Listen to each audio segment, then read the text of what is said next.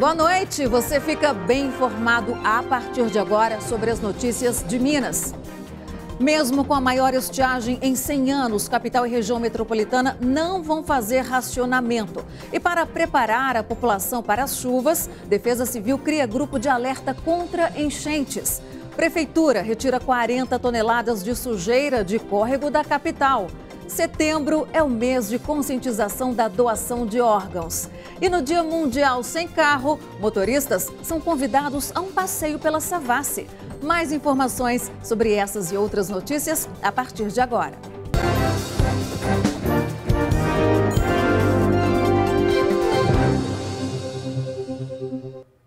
Minas Gerais vive a pior estiagem dos últimos 100 anos e, apesar da falta de chuva, não há por hora expectativa de um racionamento de água. A pior seca dos últimos 100 anos na região metropolitana de Belo Horizonte. Os dados da Copasa mostram um 2017 com nível de chuva praticamente abaixo da metade da média histórica. Os nossos gráficos, os nossos dados mostram que a precipitação nos primeiros nove meses do ano de 2017 ela é a metade da média histórica dos últimos 65 anos para o mesmo período. Apesar do número preocupante, segundo o diretor de operação metropolitana da Copasa, não há risco de racionamento em Belo Horizonte e região metropolitana. Isso graças a um sistema integrado feito pela Copasa em 2015, que deve garantir 10 meses de abastecimento. Em 2015, a Copasa tomou a medida de construir uma captação a fio d'água no rio Paraupeba, que economizou do sistema Paraupeba das nossas é, represas 135 milhões de metros cúbicos. Então o Paraupeba no momento está com a vazão muito baixa, nós suspendemos é, a captação do Paraupeba, estamos trabalhando com os nossos, os nossos lagos que têm capacidade de abastecer a região metropolitana em mais 10 meses. Como nesse período a gente vai ter também um período de chuva, é, nós estamos tranquilos em relação ao abastecimento é, do Paraupeba. Além da suspensão da captação no Paraupeba, teve diminuição no Rio das Velhas. Apesar de ter autorização para retirar até 8 mil litros por segundo, no máximo 6 mil estão sendo captados. Para Rômulo Perilli, caso a região sudeste passe por mais alguns anos com secas parecidas, medidas emergenciais terão que ser tomadas. Nós temos condições de suportar uma seca igual a desse ano por mais dois anos. Além da falta da chuva, outros problemas enfrentados pela Copasa e que prejudicam o fornecimento de água são as ocupações e instalações irregulares. A Copasa vai atuar nos dois sentidos: repressão, para poder é, cortar essa água, esse gato, esse, esse, essa ligação clandestina e, ao mesmo tempo, convencimento da população que é importante pagar água, a água não custa muito caro. Mesmo sem o risco de racionamento, é muito importante usar a água de maneira consciente. A previsão é que a chuva só chegue em outubro, mas para já preparar a população, a Defesa Civil de Belo Horizonte começou a cadastrar moradores de áreas de risco para alertar, alertar né, sobre possíveis alagamentos. A Defesa Civil bateu de porta em porta, visitou todos os endereços da Avenida Vilarinho, cadastrou moradores e comerciantes da região. O motivo de percorrer todos os lugares da avenida foi a divulgação de um canal exclusivo para emissão de alertas para a região. E tudo pode ser acompanhado pela tela do celular. É só entrar no aplicativo Telegram, digitar Alerta Defesa Civil tudo junto e entrar no canal. Eu, por exemplo, já recebi aqui a mensagem de boas-vindas. As informações são geradas apenas pela Defesa Civil, não há interatividade entre usuários. Vários tipos de alertas são enviados. Isso é mais uma ferramenta de, de alerta para a população que trafega nessa área de risco no período de chuva. É uma recomendação da ONU e é mais um esforço da Prefeitura de Belo Horizonte para permitir que as pessoas saibam do que está para acontecer e tenham condição de adotar medidas de autoproteção e de proteção da própria comunidade.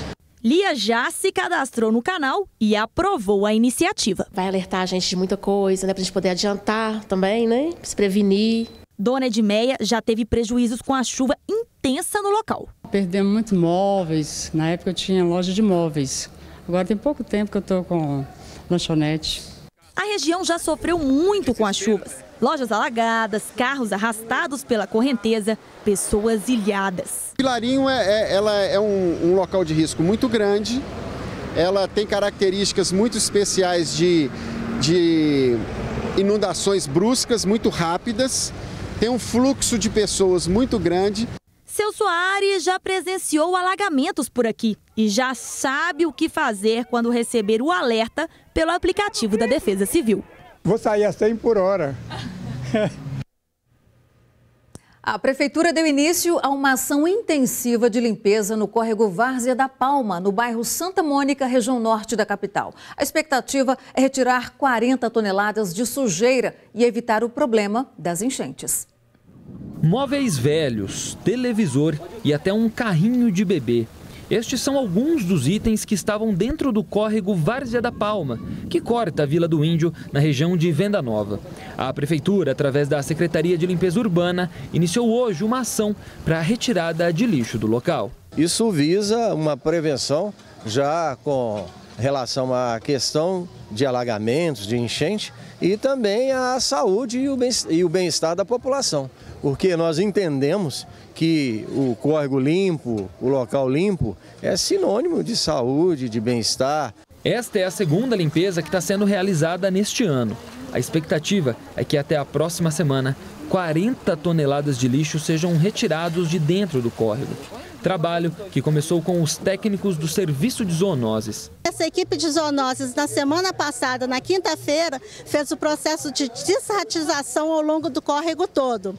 E agora eles estão conosco na campanha para tentar sensibilizar os moradores. Entulhos como tijolos, pedaços de concreto e telhas também são um problema. Aqui neste trecho do córrego, por exemplo, nenhuma máquina consegue entrar para fazer a limpeza. Por isso, é importante o descarte em local adequado adequado. Na região da Venda Nova, são três unidades que recebem este tipo de descarte. Lá para essas URPVs, é, qualquer munícipe, né, qualquer cidadão da região de Belo Horizonte pode estar levando até um metro cúbico dos seguintes materiais.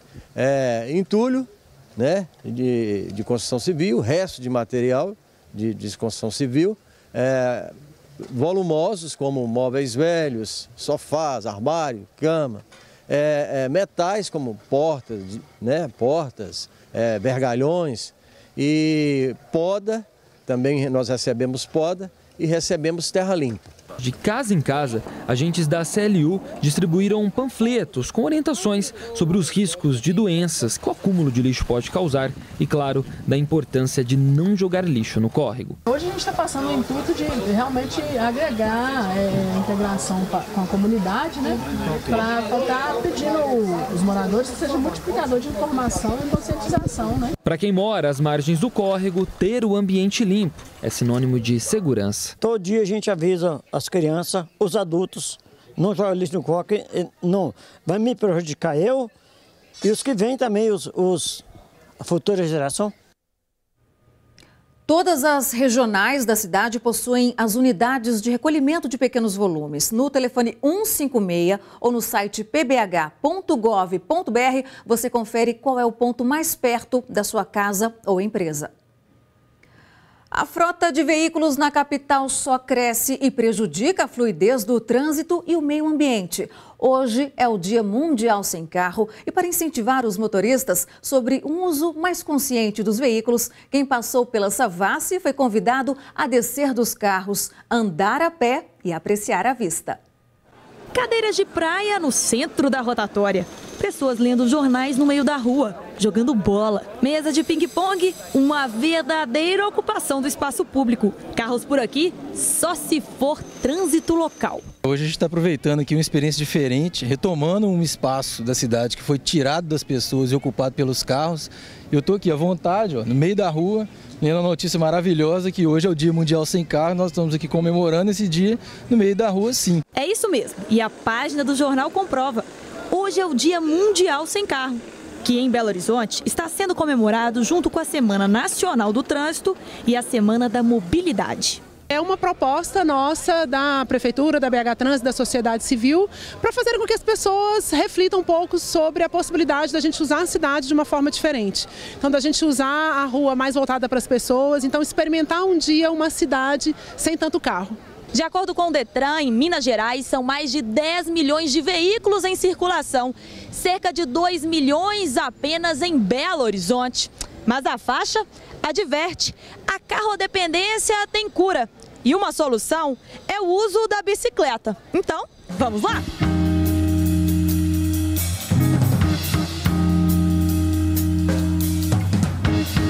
Carlos, você já usa a bike como meio de transporte tem um tempo, né? Sim, já tem mais de quatro anos que eu vendi o meu carro e agora só a pé ou bicicleta. Carlos faz parte da Associação BH em Ciclo, que tem como objetivo incentivar o uso de bicicletas em Belo Horizonte. Recentemente, o prefeito Calil é, ele aprovou um plano de mobilidade que chama Plan Bici. Ele, é um plano para os quatro anos de governo dele, agora na verdade três anos e meio. Esse plano foi construído pela sociedade civil, BH em Ciclo participou junto com, a, com técnicos da BH Trans com uma série de ações que vão muito além da infraestrutura cicloviária para promover o uso da bicicleta. Menos carros nas ruas também significa diminuição da emissão de gases tóxicos, ou seja, menos poluição. A conscientização do Dia Mundial Sem Carro vai também na questão da sustentabilidade das cidades, né? Para a gente ter uma cidade mais humana, mais é, com uma qualidade de ar melhor. A gente tem um mito de que aqui em BH tem muito morro e tudo mais, mas a gente consegue vencer esses morros. É, é, é com bicicleta ou a pé, de ônibus também, acho que dá para viver com menos carro, sim. Isso aí. Depois do intervalo, você vai ver que um centro cultural da cidade ganhou muitas cores depois que um projeto social passou por lá. As paredes foram grafitadas e agora chamam a atenção de quem passa por lá.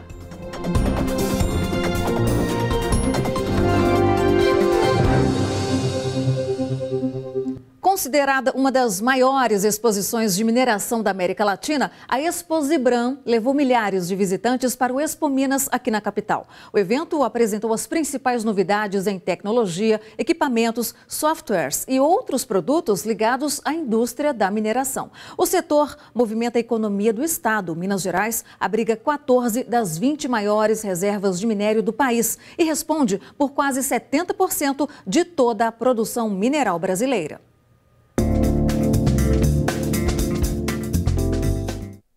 Um vai e vem pelos corredores e estandes. Reunidos no espaço de 12 mil metros quadrados, quase 500 expositores brasileiros e estrangeiros. E com eles, o que há de mais moderno e inovador em equipamentos, tecnologia, produtos e serviços ligados à indústria mineral.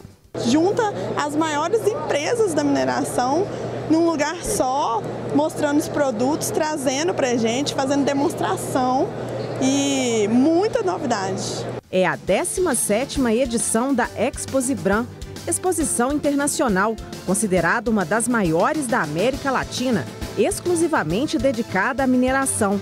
Dezenas de especialistas, empresários, pesquisadores e representantes das maiores mineradoras do mundo lançaram aqui uma espécie de olhar para o futuro do setor. Não é por acaso que a capital foi palco de um evento dessa grandeza. Minas Gerais abriga 14 das 20 maiores reservas de minério do país e responde por quase 70% de toda a produção mineral brasileira. E, pelo menos por aqui, o setor dá sinais de que a crise está ficando no passado e começa a retomar os investimentos. Tanto é que a mineração deve fechar o ano com expansão de pelo menos 5%. O governo do estado, por meio da Companhia de Desenvolvimento Econômico, a Codemig, está dando uma forcinha e tanto.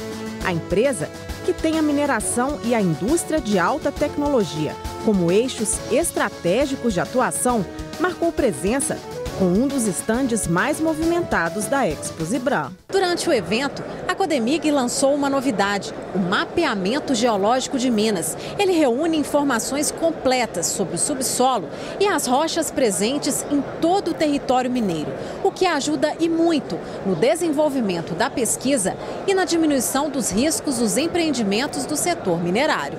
Além disso, a empresa também está investindo no pioneirismo de Minas em outros dois projetos inovadores. Um deles é o do primeiro laboratório fábrica do Brasil para a produção de ímãs de alta potência. A iniciativa vai agregar valor às reservas de terras raras no estado e, com isso, incentivar a cadeia produtiva de motores e geradores elétricos de alta potência. O outro projeto, também inovador, é para a produção de grafeno em escala industrial. O material é composto por átomos de carbono, que, por ser o mais fino, mais resistente e mais condutor do mundo, é tido como o futuro da tecnologia. E as novidades não param por aí. Esta multinacional, que tem a Codemig como uma das maiores acionistas, acaba de lançar uma plataforma de monitoramento em áreas de mineração. Na prática, o que geralmente é feito de forma manual ganhou ajuda da tecnologia. Sensores localizados em pontos estratégicos colhem em campo, online, em tempo real, durante 24 horas por dia, dados como o deslocamento do solo e temperatura do ambiente. Todas essas informações geram dados importantes que podem ajudar a prevenir acidentes. Ela dá ao usuário ou à empresa é, o poder de tomada de decisão mais rápida e direta. Né? E, e, com isso ela consegue reduzir custos, ela consegue prevenir acidentes, ela consegue monitorar ambientes. Então isso tende a automatizar ainda mais a indústria de mineração. Uma das funções da arte é embelezar o mundo, mas ela tem um significado muito maior, que é mexer com as pessoas. Isso pode acontecer de várias maneiras. Vamos te mostrar uma delas agora em um projeto sociocultural que é realizado aqui em Belo Horizonte. Nas cores e traços, a história de uma comunidade retratada na arte do grafite é o Arte Favela. O projeto nasceu no bairro Goiânia, região nordeste de Belo Horizonte. No início foi mais para poder trabalhar com a juventude local. E aí foi ganhando força e a gente começou a trabalhar em outras comunidades também. Nesses 14 anos a gente já fez vários projetos, já trabalhamos com, atendemos várias crianças e adolescentes com oficinas, entrelaçando mesmo com a cultura local. Os murais são grafitados nas fachadas e em torno de centros culturais de Belo Horizonte. Acho muito importante, é rico porque às vezes a gente conhece lugares que você não tem costume de né, frequentar, às vezes de, por causa do trabalho, então você acaba conhecendo outras regiões, outras comunidades e, e também a cultura do lugar. Para mim é uma honra sempre, né? Tá pintando, fazendo o que eu mais gosto de fazer, que é pintar, fazer grafite. E também não só pintar por pintar, é, tem aquela, aquela questão também de, de conversar com a comunidade, né, de saber a história da comunidade e tentar imprimir isso no muro. Todas essas mulheres vieram ao Centro Cultural São Bernardo em busca de qualidade de vida. Mas chegando aqui reunidas, descobriram que tinham criatividade, talento.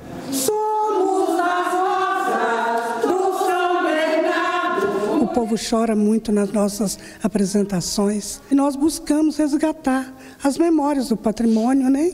Com as cantigas de roda, os casos, as histórias. E isso é muito gratificante, porque são lágrimas de felicidade.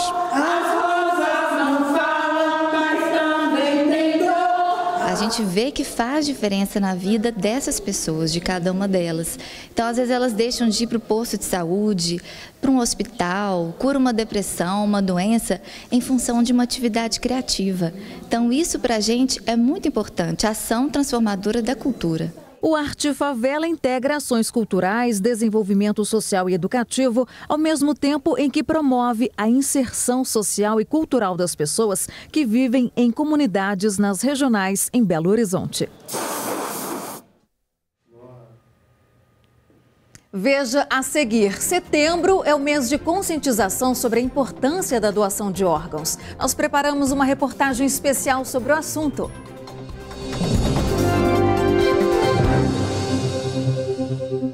Setembro foi o mês escolhido para uma campanha de sensibilização da doação de órgãos. Paulo está às vésperas de comemorar o aniversário, mas não é o de nascimento, não, é o de renascimento. Há um ano, ele foi transplantado, recebeu rim e pâncreas, após ficar quase dois anos na fila de espera. Eu renasci.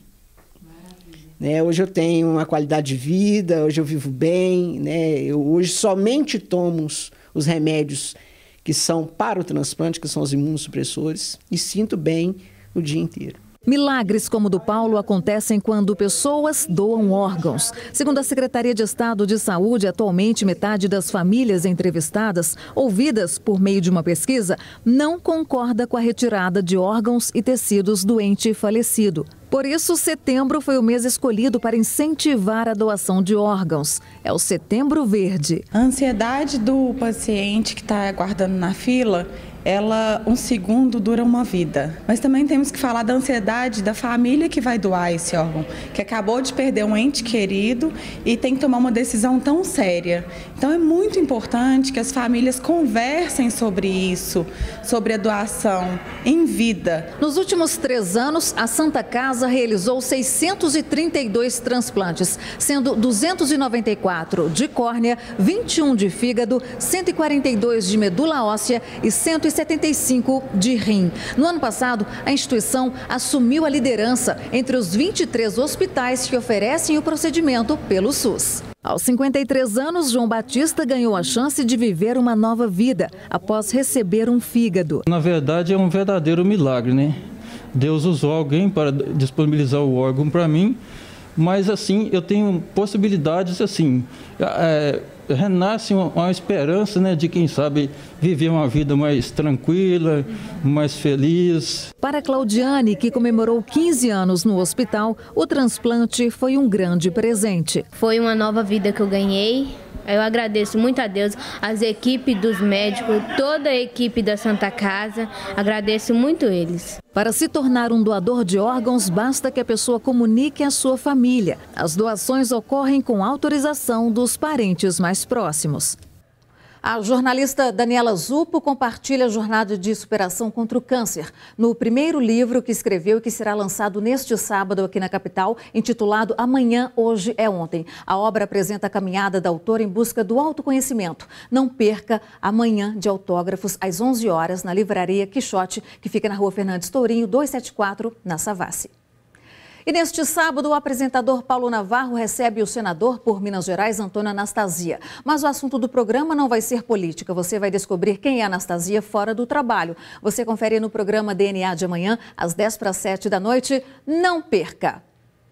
Para você, uma ótima noite, excelente fim de semana.